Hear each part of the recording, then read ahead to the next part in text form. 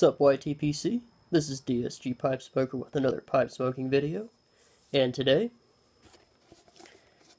I am doing a tobacco review on Cornell and Diehl's Pirate Kake. Cornell and Diehl's Pirate Kake is a full-bodied, well it's uber full-bodied, full-flavored, um, heavy, heavy Latakia blend it's got 75% Latakia, which is the same content as 10 Russians, but unlike 10 Russians, this has burley and Turkish as its additional components to the tobacco. It comes in the same kind of cake form, and really, um, throughout the review, you'll notice some similarities between this blend and 10 Russians. And at the end of the review, I will be, um, I'll make some notes about those differences. But I figured, since I happen to have found the tin, I didn't throw it away. Let's read the description because I like the way Cornell and Diehl did their description.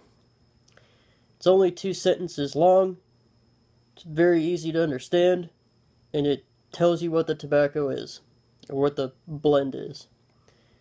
It says on the back of the tin, a smooth, robust blend with lots, 75%, of exceptional Latakia accompanied by Turkish and Burley. Pressed in an old-fashioned cake, this is a Latakia lover's treasure. Like I said, very simple, very to the point, and it really tells you exactly what you're getting yourself into.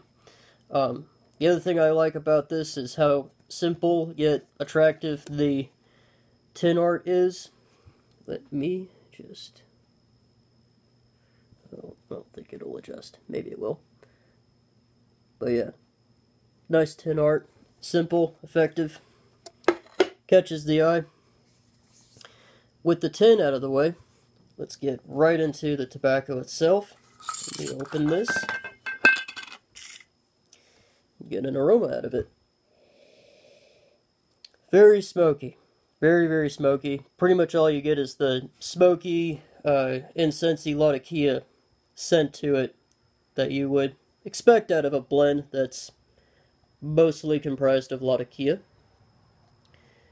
And here is the crumble cake that it comes in. It's very dark, but it's a little bit lighter than 10 Russians, I think. Um, that would make sense since you've got Burley and Turkish in there. Excuse me. And it has a little bit of flex to it.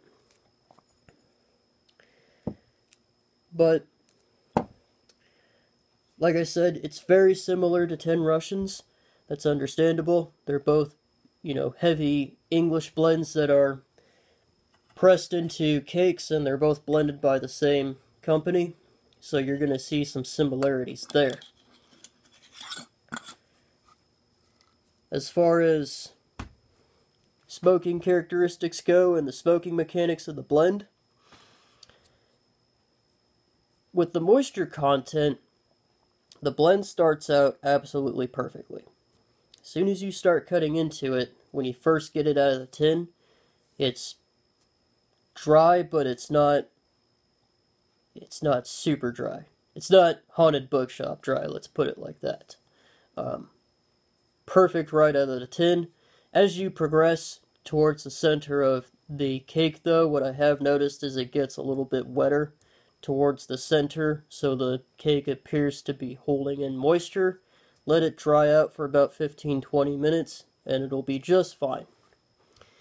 Um, but once you get it to the right moisture content, it packs fairly well, lights fairly easily. You will need to relight this blend as you progress down, and it does produce a fairly thick ash at the halfway point. Um, pipe tool will be necessary to dump out the ash, but like I said, it relights fairly easily, even once you get the ash removed. It also produces a very uh, thick chewy smoke, but it has a smoothness to it. It will get a little bit harsh towards the bottom, and it produces a little bit of moisture towards the bottom too. So make sure you've got some pipe cleaners when you're smoking this blend. Other than that, nicotine isn't really noticeable too much. You really have to um, go out of your way to make sure that you get whatever nicotine is in this blend. At least I would have to. You know, if I'm to... What I pulled the most amount of nicotine out of this blend, it was smoking this blend on an empty stomach with a big pipe. Um, no tongue bite. And the other thing I noticed too, it tolerates heat a little bit better. I'm not sure why, but it just it seems to hold up its smoky characteristics and the complexity of the blend. Um, even if you smoke it at a slightly faster pace than, you know, what would normally be recommended for smoking a Latakia mixture. Um, but like I said, no tongue bite, so even if you did want to haul on it, you should be able to do that comfortably. Just like 10 Russians, this likes a large bowl. It likes the shorter, wider bowls, so your 320s, um, your pot shapes, your princes, things along those lines. That's what this blend seems to like. Getting into everyone's favorite portion of the review is the flavor profile of the tobacco.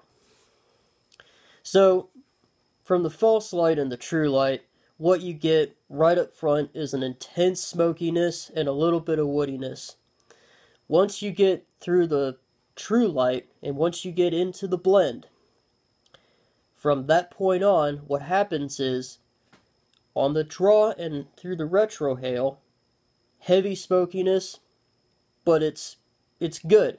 If you love Latakia, you'll love this blend. But that's what you get. You get a lot of that Latakia on the draw and the retrohale. Um, through the finish, once you blow out the smoke, and that finished taste that you get, what's left on your palate, that's where the additional complexity in this blend comes from. And pretty much after the True Light, I got a sweetness to it, a mild spiciness to it, and kind of an interesting, uh, the best way I can describe it is an herbal or a floral taste to it.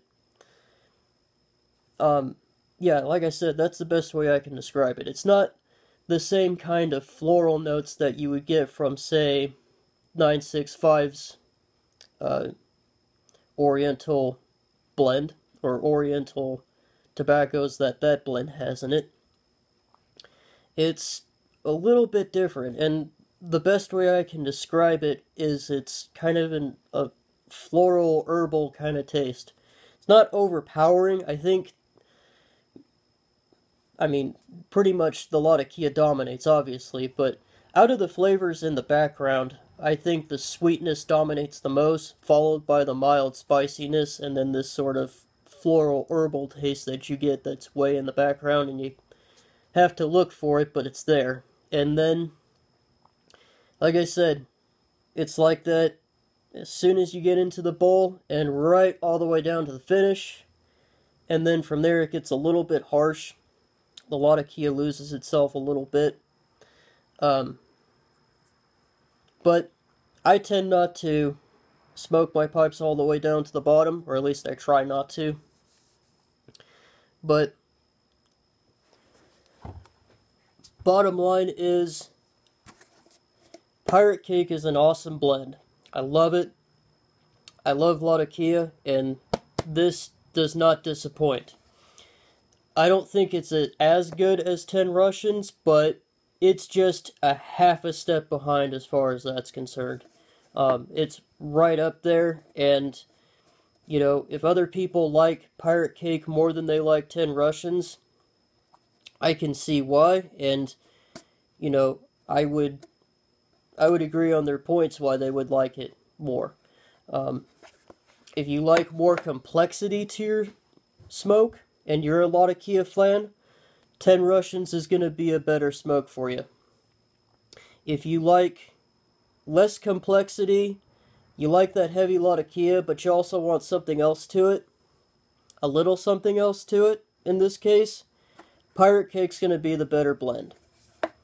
Uh, with that being said, this has been DSG Pipe Smoker with another pipe smoking video. You guys have a good day.